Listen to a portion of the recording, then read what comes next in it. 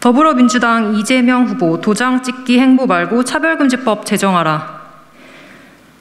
대통령 선거 후보의 언행은 국민과의 약속입니다. 우리 국민들은 말과 행동이 일치하는 책임 있는 대선 후보를 원합니다. 경제 12 선진국의 수준에 맞는 후보를 원합니다. 오늘 더불어민주당 이재명 후보는 장애인 직업훈련 편의점을 찾아 함께 일하며 장애인과 비장애인이 차별 없이 원하는 일을 할 수 있도록 하는 게 중요한 것 같다라고 말했습니다. 중요한 것은 같은 것이 아니라 중요한 것입니다.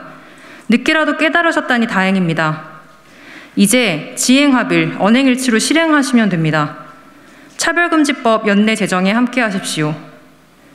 차별금지법은 성별, 장애, 나이, 언어, 출신 국가, 출신 민족, 인종, 국적, 피부색, 출신 지역, 용모 등 신체 조건, 혼인 여부, 임신 또는 출산, 가족 및 가구의 형태와 상황, 성별 정체성, 성적 지향, 종교, 사상 또는 정치적 의견, 형의 효력이 실효된 전과, 고용 형태, 학력, 병력 또는 건강 상태, 사회적 신분 등 다양한 이유로 합리적인 이유 없이 부당하게 차별받는 시민들이 이재명 후보가 공기처럼 누리는 일상을 이재명 후보가 말한 대로 장애인과 비장애인이 차별 없이 원하는 일을 할 수 있도록 하는 제일 효과 빠르고 확실한 방법입니다.